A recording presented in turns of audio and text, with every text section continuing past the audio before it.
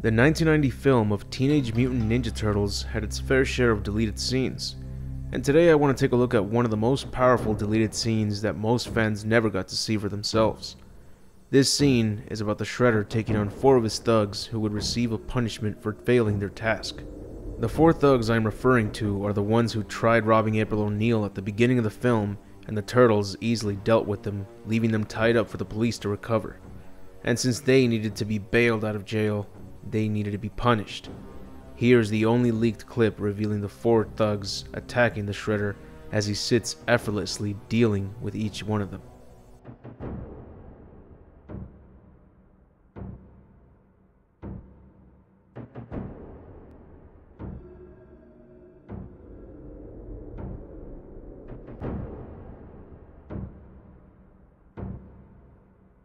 If you're wondering what happened next, the rest of the deleted scene may not have been revealed yet, but the script for the film describes the scene thoroughly. I'll explain the scene as it was written in the script. He makes his way toward the platform looking neither left or right, but completely focused on his destination. Tatsu follows off to the side, a step behind. The teenagers part, clearing him a path to the platform. He heads straight to the center of the barren stage and sits, his movements ceasing completely. He stares straight ahead. Tatsu then moves in and carefully removes the cloak, the reason for his care evident when he exposes what lies beneath a severe black doji, spiked with razor sharp ninja armor. Tatsu then looks off the platform and nods, and four very nervous looking teenage thugs, four the same ones that were turtle tied in the Channel 6 parking lot, step up onto the platform, forming a square around Shredder. He still doesn't move. Tatsu then receives a box from off the platform and removes an ornate red headband, which he slowly drapes over one of the Shredder's shoulders. Tatsu then says quietly and respectfully, Master Shredder. The four thugs now have eyes only on the red headband as they are handed various ninja weapons from off the platform. Shredder has none, and still he doesn't move. His eyes continue forward as the thugs stare at the red headband, pursing their lips and wiping away nervous perspiration, and we begin to get the idea that the one who gets the headband doesn't receive a reward, but rather avoids a punishment. Tatsu stands at the back rim of the platform and holds up a hand, palm outward. It's very quiet now, and with no movement from the audience, as they and the four thugs concentrate on Tatsu's hand. It closes into a fist, and with it, the four thugs attack, producing loud screams with each thrust they make attempting to reach the red headband.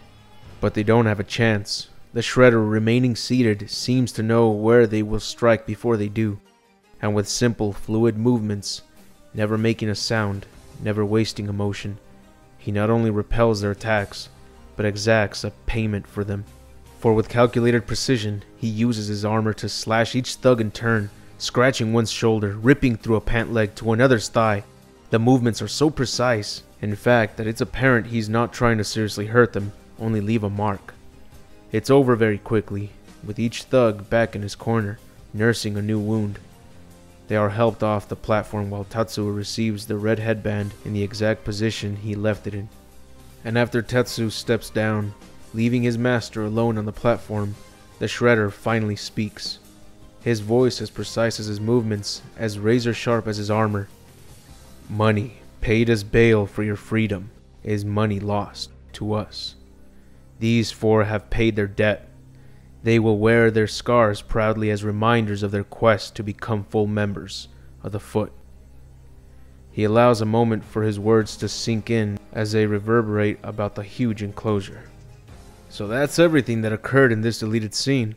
If you look at the Shredder's introduction scene, the moment when he's giving their new Foot Clan member his mask, you can see one of the four thugs in the back with a cut on his right shoulder. It's blurry, but you can see that he's holding on to his injured arm. As the deleted scene shows, it was meant to begin the moment they unrolled the carpet. The novelization of the film, as well as the comic book based off the film, both included the deleted scene and both described it similarly to the script. It's less of an impact when it's shown in the comic book, kind of comedic looking to be honest, But I guess it's better than not including it at all, like the film did. And seeing as they filmed the scene, they obviously should have included it since it's an amazing scene. It's not exactly a violent, mature scene, and if it were to be included, it would probably last about a minute or two for the entire scene. Only because of the build-up, as the fight does not appear to last long since each thug easily backed off after being cut once. So it wouldn't take up too much time and it's not exactly graphic. Just an impressive scene that does a great job introducing the Shredder as well as including those four thugs. See, Shredder's intro in the film was executed well enough to let you know that he's a very respectful and feared leader. However, this deleted scene would have revealed just how much of a threat the Shredder truly is. And if it were to be included, then the audience would be looking forward to seeing the Shredder face off against the Turtles in the end. The Michael Bay TMNT film did use a similar introduction for the Shredder, but it's portrayed far better in the 1990 film. It's a damn shame that it wasn't included, but seeing as they did film it, then they can always include it with the next anniversary edition. If you'd like to know more information about this, be sure to check out the link in the description to tmntfilm.com. They have a huge section talking about this particular deleted scene. So with that said, that's it for the video. If you enjoyed it, be sure to leave a like, share, and subscribe if you haven't. And if you'd like to see extra videos, have early access to upcoming videos, and you'd like to vote on what you want to see next, or you simply just want to see your name at the end of the videos, then feel free to support the channel by donating a single dollar to my Patreon.